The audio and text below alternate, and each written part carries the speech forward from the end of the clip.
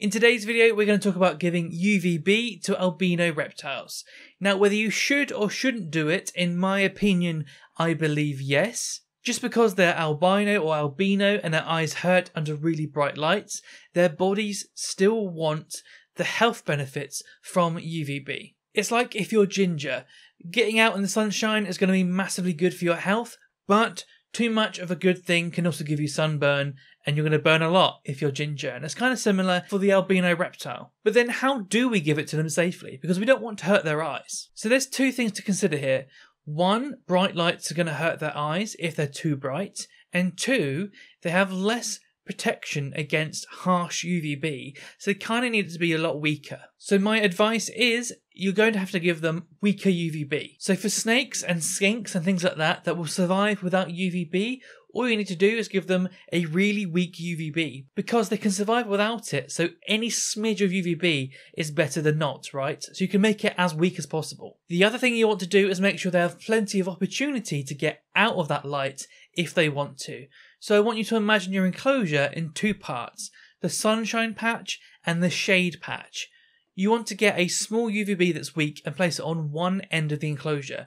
Typically, you put that on the end where it's warmest because it's like the sunshine and they can go sit in the shade away from that area. So, with normal reptiles that aren't albino, a lot of people like to have big long tubes to light up their enclosure and make it really impressive. For your albino, you want to get the smallest UVB you can buy. If that's the tube and the smallest they do is like a 12 inch, you want to get the 12 inch one and plonk that somewhere in one corner. Then what you want to do is place that over somewhere with a hide. Like this, your typical normal reptile hide.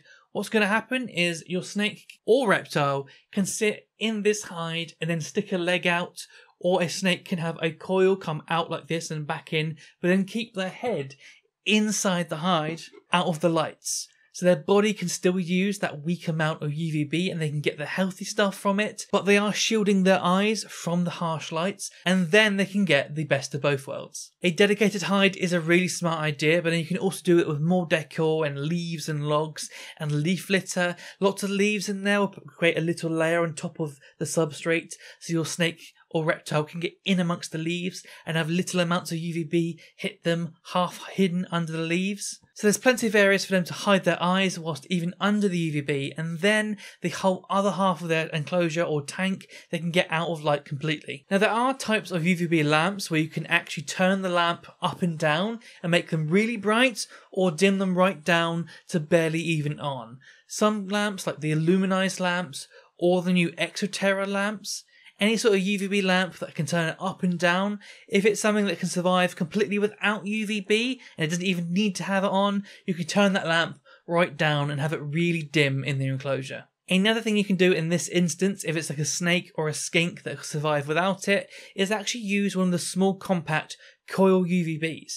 Typically, we don't say to use that because of how weak they are and how small their range is, but in this instance, how weak they are and how low the UVB is and how narrow they are can actually be a benefit in this circumstance for creating a small area where the UVB hits that's weak and narrow and shade everywhere else. So in that circumstance, the coil can be a good thing to use. What I'm going to do is I'm going to link some really weak UVBs down below. And if you're someone that just wants to be told, oh, buy that one, I'll link them down below take a look, we'll sort you out. If you found this video helpful and you like these types of informative videos, subscribe and I'll see you in the next video.